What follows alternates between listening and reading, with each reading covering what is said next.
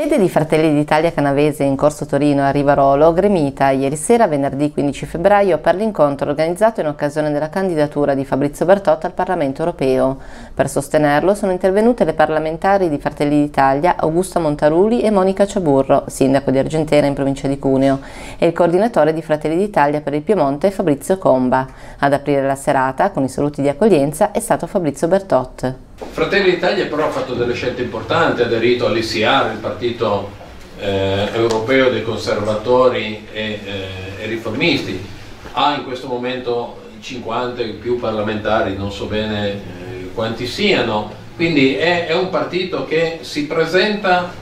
ai cittadini con una faccia unica, la faccia di quel partito di destra che non andrà mai a governare col PD e non andrà mai a governare con i 5 Stelle.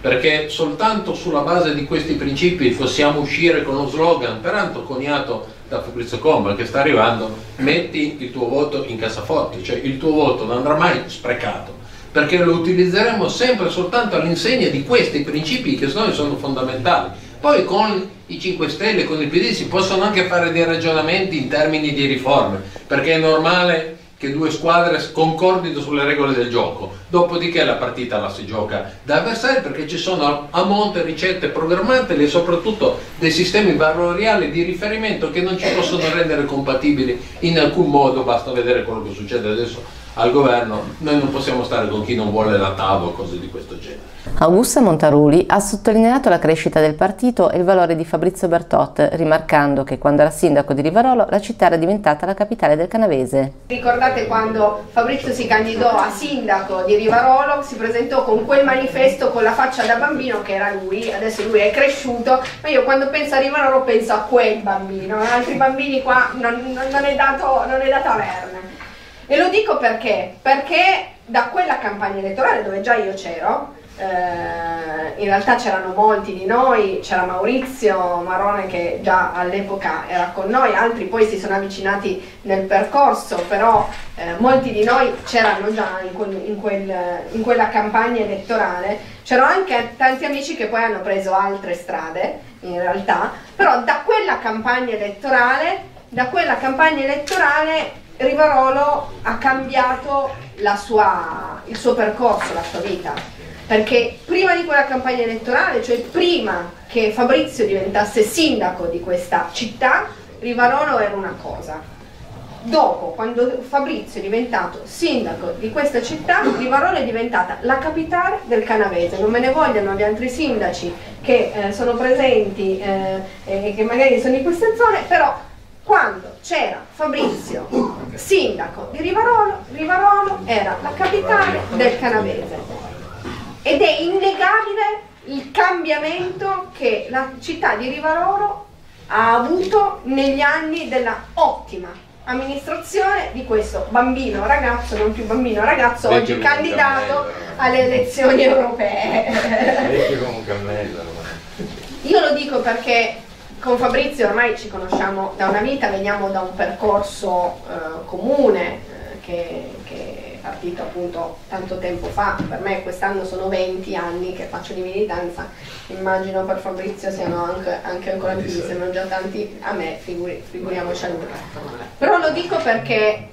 non è che vi devo, vi devo convincere a votare Fabrizio Bertot alle europee, perché anzi eh, lo conoscete tutti uno a uno e, e, sapete voi che siete sul territorio molto meglio di me, che già ne so, quanto Fabrizio ha dato a questo territorio e quanto lui meriti non solo il vostro voto ma l'impegno di tutti noi a sostenerlo. E io sono qua per questo, io sono qua per, al di là per questa bellissima sede che ho già inaugurato più volte nel corso degli anni,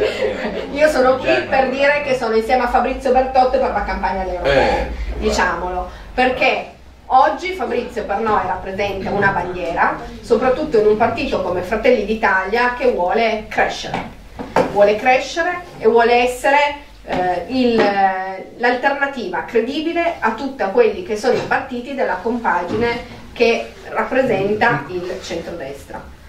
che questo, questa argomentazione è quella che noi dovremmo andare a spiegare a tanti, tante, tante persone che un tempo votavano Alleanza Nazionale, che poi per ragioni che non, non stiamo qui a ripetere, eh, sapete tutti, hanno cambiato rotta, oggi hanno votato e mm, potrebbero votare Lega, invece noi dobbiamo convincerli che mm, un voto di chi si sente di destra non è il voto dato a eh, Salvini e alla Lega, perché quanto, per quanto sia bravo Salvini oggi è un ostaggio. È un ostaggio di Di Maio, di Di Battista, di, di Fico, di tutti coloro che eh, da un punto di vista dell'economia, e viva Dio, eh, oggi c'è bisogno di qualcuno che parli realmente di economia, di lavoro, di che faccia una politica concreta vicino ai piccoli, e qua ci arriverò, se volete una politica realmente seria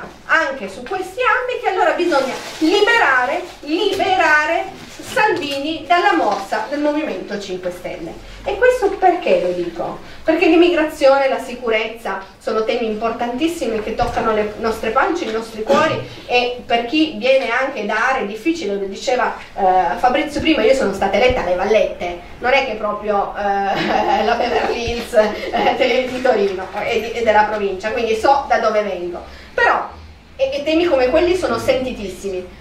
Però ancora prima di quei temi ancora prima di quelle problematiche, il problema del, dei torinesi e di chi vive in Torino e nella provincia di Torino è che ormai in ognuna delle nostre famiglie c'è almeno un disoccupato o una persona inoccupata o una persona che si trova in grandissima difficoltà nel mondo del lavoro. Oggi, se noi vogliamo rimettere in piedi le nostre città, la nostra provincia, il canavese, il canavese, dobbiamo studiare soluzioni che ridiano una vocazione, una vocazione economica a questi territori. Senza questa partita noi per carità potremmo eh, osannare Salvini per i porti chiusi, ma avremo le porte dei nostri negozi, dei nostri uffici, delle, eh, delle nostre aziende chiuse anche loro, con tantissime persone già in strada e molte sono già in strada per colpa del decreto dignità che anziché eh, creare e incentivare sul mondo del lavoro in realtà ha fatto eh, soltanto eh, più disoccupati di quanti eh, se ne registrassero prima. Ecco, va bene i porti chiusi, ma noi vogliamo le porte dei nostri negozi, dei nostri studi, dei nostri uffici, delle nostre aziende aperte. E per avere le porte della Torino e della provincia di Torino che produce, abbiamo bisogno di liberare la Lega dalla morsa dei 5 Stelle. E quindi l'unico voto possibile è il voto dato a Fratelli d'Italia, che qui è rappresentato da Fabrizio Bertot, che si candida in Europa in un ruolo strategico. Strategico perché proprio sui temi dell'economia e del lavoro noi oggi abbiamo un braccio di ferro con l'Europa, abbiamo bisogno di persone che oltre ad aver saputo amministrare bene il territorio, abbiano lavorato perché purtroppo nel Movimento 5 Stelle ci ha portato la, eh, il non lavoro, la non gavetta, l'incapacità al potere. Invece noi vogliamo un modello diverso, le persone che hanno fatto qualcosa nella vita, che hanno aperto aziende, che le hanno portate avanti, che hanno amministrato. Noi vogliamo persone così. Fabrizio Bertotte le riassume assolutamente tutte queste qualità ed è per questo che è necessario votarlo. Monica Ciaburro nel suo intervento ha rimarcato l'importanza di porre attenzione anche ai comuni più piccoli e montani. Io sono davvero contenta di essere qua anche in questa famiglia, posso definirla tale perché una, mi piace vederla immaginarla come una, una, grossa famiglia che condivide sia eh, le battaglie, quindi anche le preoccupazioni, le cose che dobbiamo portare avanti e poi le gioie che ne conseguono, però insieme sicuramente tutto è più facile nelle, nei dolori perché affrontandoli insieme si risolvono meglio e, e anche la gioia quando è condivisa sicuramente è, ha l'effetto moltiplicatore. Eh, la mia primissima esperienza a Roma mi ha portato a constatare con mano quello che è lo scollamento da quelle che sono le realtà realtà e i bisogni, soprattutto di, dei comuni piccoli, meno piccoli, ma che ogni giorno da sindaci eh, ci troviamo ad operare, per cui quelli che sono eh, dei passaggi burocratici, eh, se vuoi ottenere delle cose, da un, da un, un'idea di partecipare a un bando, piuttosto che tutta una macchina che si mette in piedi, che ha dei tempi che sono immensi, eh, delle mh, lungaggini assolute di, di burocrazia, personale che è sempre più carente E poi, ahimè, eh, ci sono tutte le questioni di ehm, non vicinanza a quelli che sono anche i problemi dei cittadini. Eh, banalmente, non so se anche da questa parte di territorio, più precisamente, noi abbiamo un servizio, è uscito anche eh, lo scorso giorno, ehm, del Corecom che ha eh, riscontrato un segnale RAI che non è così scontato su tutto il territorio nazionale, anzi nella nostra provincia di Cuneo, ma anche in, in Piemonte, mi pare nella Valle Susa, eh, c'è il segnale che eh, è assolutamente o carente o debolissimo, per cui si vede soltanto un, una trasmissione per dire ma le paghiamo le tasse esattamente come, altri cittadini, piuttosto che la rete banda ultralarga. Anche qua c'è un progetto, il Bull banda ultralarga, che però ha dei rallentamenti e questo purtroppo fa sì che dei paesi già sofferenti lo siano ancora di più. Non a caso adesso anche con l'introduzione della fattura elettronica io, che ne so, un artigiano ad Argentera che deve lavorare deve fare la fattura elettronica non ha la possibilità perché non ha una rete per farla, quindi ha delle complicazioni in più. Sono già eroici quelli che vivono e cercano di mantenere salde le proprie radici in questi posti però veramente lo Stato sta facendo di tutto affinché si spopolino sempre più, anche se a parole eh, sembra eh, bisogna salvare le montagne, bisogna fare ripopolarle, ma poi nella concretezza dei fatti andiamo esattamente all'opposto. Ambiti ottimali per l'acqua, ambiti ottimali per questo, la gestione della montagna,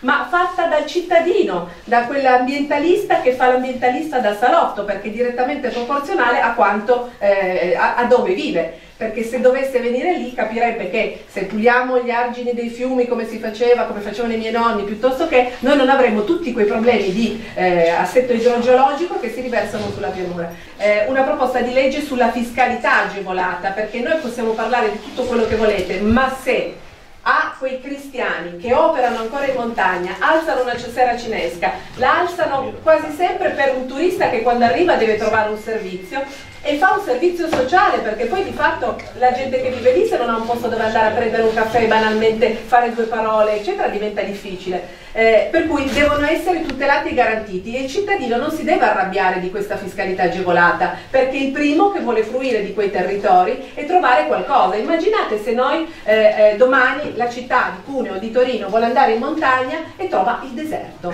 Sì sì bellissimo il paesaggio abbandonato assolutamente a se stesso ma non può né prendersi un panino non può prendere prendersi un caffè, non può trovare un posto dove dormire se vuole trattenersi lì perché qua magari è soffocato dal caldo della città, non si può più fare nulla, ma non possiamo continuare a pensare e sperare che queste persone continuino a fare gli eroici eh, quando invece, eh, ecco in quel caso un supporto e un aiuto statale serve, non per tutta la montagna, infatti abbiamo messo anche qua con criteri e buonsenso che sono eh, le caratteristiche che ci contraddistinguono come mh, mm, Fratelli d'Italia, abbiamo messo delle, delle, delle, mm, dire, de, de, dei mm, parametri anche, perché poi c'è anche la montagna ricca che non ha certamente bisogno di aiuti o di sussidi per cui quelli che sono le attività, quella che è la, la, la, la popolazione che si spopola, cioè, mettendo tutto insieme, stirare fuori quelli che effettivamente hanno bisogno, nel concreto per poter garantire un servizio, per poter sopravvivere e avere diritto di cittadinanza in quei posti. Eh, abbiamo anche introdotto all'interno della legge quella che è la fattura elettronica che quantomeno con un po' di buonsenso mi viene da dire introduciamola dove là funziona. Non possiamo chiedere agli italiani andiamo tutti in macchina e abbiamo ancora eh, le, le, strade per le carrozze, perché va da sé che è una cosa che privilegia di nuovo qualcuno e qualcun altro invece lo fa sempre diventare il fanalino di coda e deve fare sempre più fatica. Per cui stiamo lavorando in questa direzione con buon senso, concretezza e nell'interesse esclusivo dei cittadini. Usato sicuro, ha definito così Fabrizio Bertot, il coordinatore regionale di Fratelli d'Italia, Fabrizio Comba, affermando che altri sono passati ma il partito e il territorio non hanno lasciato nulla. Ci abbiamo creduto il 20 di, di, chiedo scusa, di dicembre del 2012, giorno in cui fu costituito il gruppo.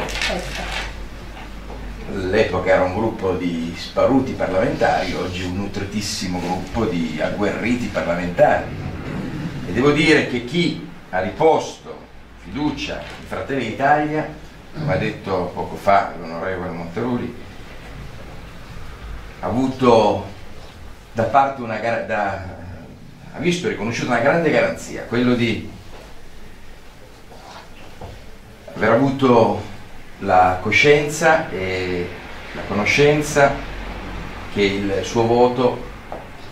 è stato messo in cassaforte sono messa in cassaforte perché a differenza di altri, i Fratelli d'Italia, il voto è stata una cosa seria e il rispetto delle persone che hanno voluto riconoscere la fiducia a questi colori voleva significare qualcosa di più importante. Noi firmammo veramente prima delle elezioni un, un patto con gli italiani dove garantivamo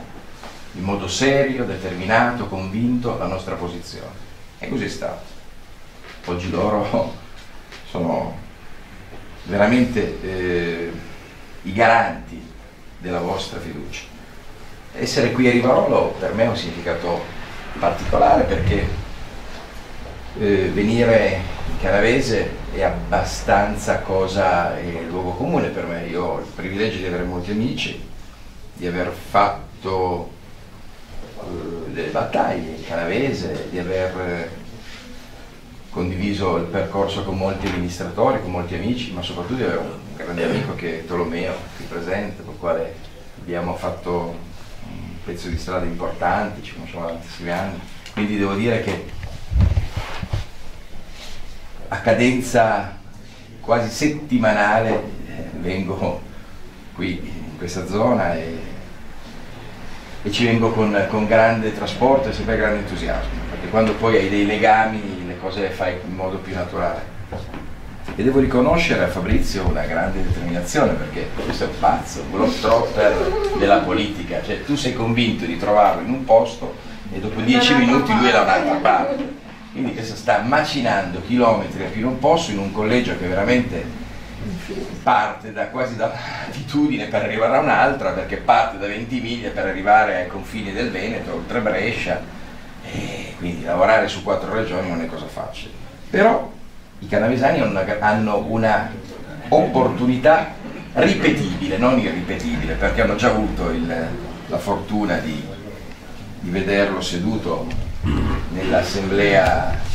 del Parlamento europeo e hanno la possibilità di rivederlo e riportarlo soprattutto, perché per rivederlo bisogna riportarlo e per riportarlo bisogna riconoscere la fiducia e per riconoscere la fiducia a Fabrizio bisogna metterci dell'impegno, perché effettivamente noi siamo un gruppo di amici, ma dobbiamo avere la capacità di trasmettere il nostro pensiero, la nostra parola, la nostra determinazione a tanti altri. Noi siamo un certo numero, ma dobbiamo fare eh, moltiplicatore. Abbiamo una grande responsabilità, però voi avete una grande opportunità, perché insomma è vero, qui Rivarolo è un po' il capoluogo di questo distretto, lo è stato di più in passato, in passato era una città sicuramente più ricca, era una città eh, più attiva, poi si è un po' spenta, questa amministrazione ha deciso di spegnere poi definitivamente quella fioca lampadina che era rimasta un pochettino accesa, che aveva ancora un po' di energia che aveva lasciato il, il sindaco Bertotti. Beh, oggi si può ridare energia a quella lampadina, si può riaccendere quel faro ed è un faro che, che può illuminare tutto il canavese. Quindi voi avete l'opportunità di avere una persona che può rappresentarvi e non è cosa da poco, non è cosa da poco. Questo è un ambito che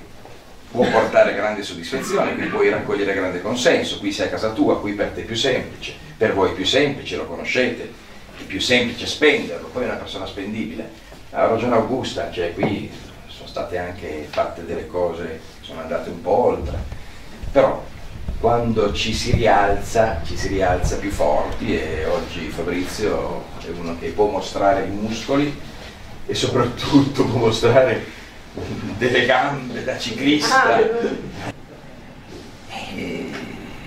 convinto di poter raccogliere il massimo comunque nella sua città, perché io penso che sia un riconoscimento dovuto. E poi alla fine, parliamoci chiaro, è una legge della fisica, quando si crea un vuoto qualcuno lo deve andare a occupare. Qui c'è un vuoto incredibilmente grande. Qui avete visto passare rappresentanti autorevoli del territorio partendo da Forma per arrivare a tantissimi altri che non hanno lasciato mai niente. Qui non è rimasto mai niente. Tutti si sono riempiti sempre tanto la bocca, canavesani, canavesani, canavesani, poi alla fine Quando si arrivava in Parlamento si passavano due bellissimi giorni a Roma, si ritornava in Canavese e poi lì finiva con un interrogativo in evaso, quindi zero.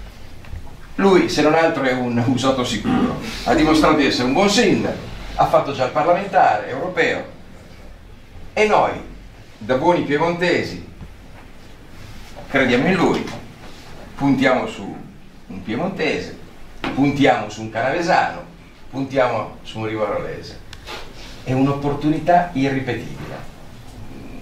Guardiamo un pochettino anche a quelli che sono i nostri interessi di piemontesi e di canavesani. Fabrizio Bertotta, riprendendo la parola, ha ricordato Aldo Costa, recentemente scomparso, ideatore di numerosi slogan. Non c'entra niente con noi dal punto di vista politico, tutto quanto, però eh, niente, volevo salutare Aldo Costa che se n'è andato stanotte, insomma lo sapete, è quello che ci ha fatto gli slogan per la nostra campagna elettorale, uno scrittore del Canavese, però la nostra campagna elettorale, quello slogan per il, la mia rielezione, energia rinnovabile, penso che mi abbia lasciato il segno e Aldo con le sue idee, con il suo modo di fare, con, con tutta l'amicizia, purtroppo a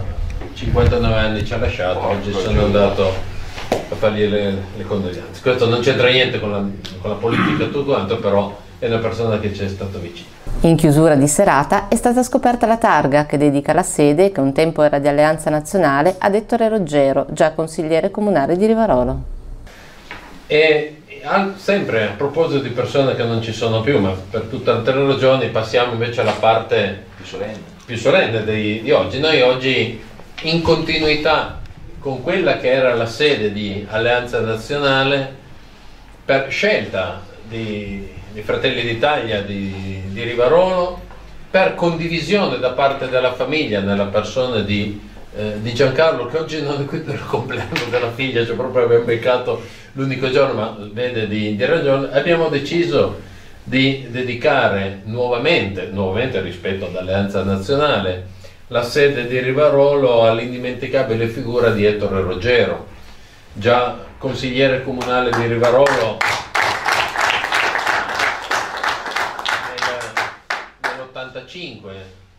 rappresentato il movimento sociale a Rivarolo, ma prima ancora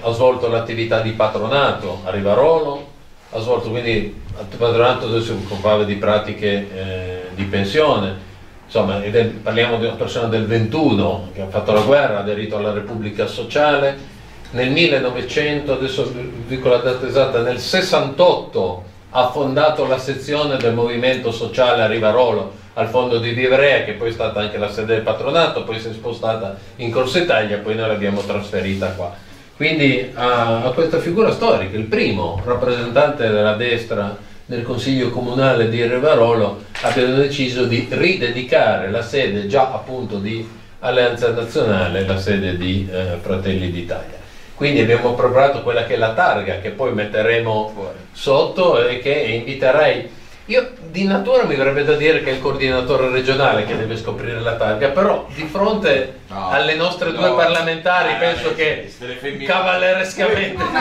io, io e Fabri- i due Fabrizi fanno un passo indietro e lasciano No. giustamente madrine, allora facciamo alle le due madrine. madrine. E beh, quando vai a girare, sono due Abbiamo- parlamentari di Alleanza Nazionale, prima, Fratelli d'Italia adesso, che scoprono la targa, però avremo piacere che siate voi a scoprire la Abbiamo targa. Questo poi- privilegio su eh, e quindi è giusto che lo facciate voi. La- Ci siete? 3, 2, 1. Via. Ecco.